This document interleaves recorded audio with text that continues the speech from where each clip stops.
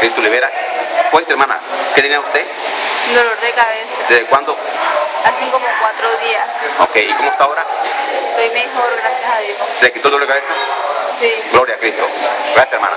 Bendiciones.